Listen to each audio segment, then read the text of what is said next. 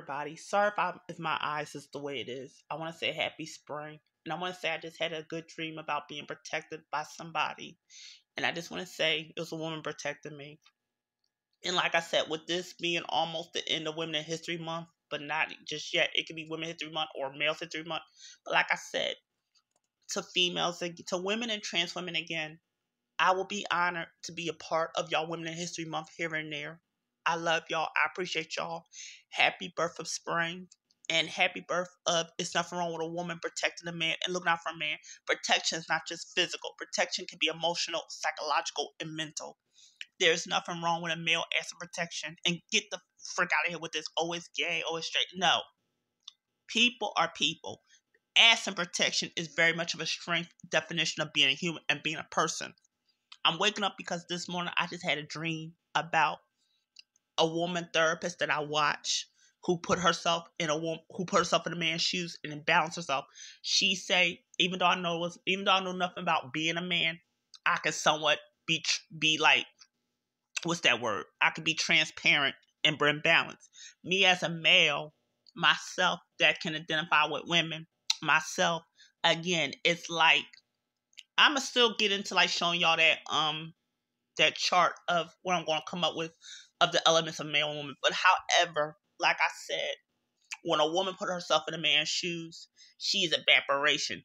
When a man put himself in a woman's shoes, she, wait a minute, let me put that back. When a woman, the dream woman I hear about her protecting me, when she, as a woman, put herself in a man's shoes, she is evaporation, and and when a man puts himself in a woman's shoes, it's wind. It's it's like a wind breeze coming together, and it's beautiful.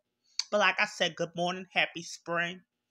And at, like I said, it's like six. It's like eight. It's like um in Easter Standard, it's like eight forty five over here, Easter Standard. But good morning, everybody, and good morning, spring. And I love y'all. Spring is the birth is the birth beginning order of the year of the New Year's.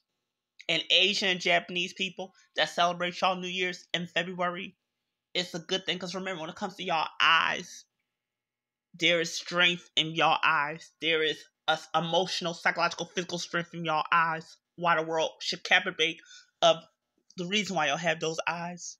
Because like I said, that's the reason why I gave y'all Asian winter. And I'm gonna go I'm gonna go deep into why I gave y'all Asian winter. Because like I said, when it comes to that part of winter when it's windy and it's and it's get and it's just got done being damp before it gets a little bit mild, there's the wind and the mild and the damp come together but I'll get deep into why I gave y'all Asian winner. Because like I said, y'all having your eyes made fun of, that's not right. That's not kind. That's mean. Don't let nobody put y'all down. And Asian men, don't let nobody make fun of who you are. There's energy to y'all.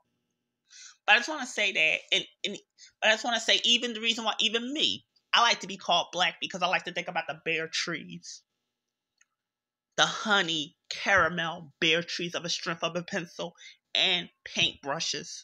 That's why I like to be called black. The energy. And then white people, y'all skin is so light that air. Latino people, there's something about y'all at Latino, Middle Eastern. There's something about y'all, the art of the brown, brown coating of earth. Native Americans, the sunset and sunrise. But at the same time, I just want to say Happy birth of spring. Happy birth of the happy birth of the year spring. Happy birth of the beginning spring.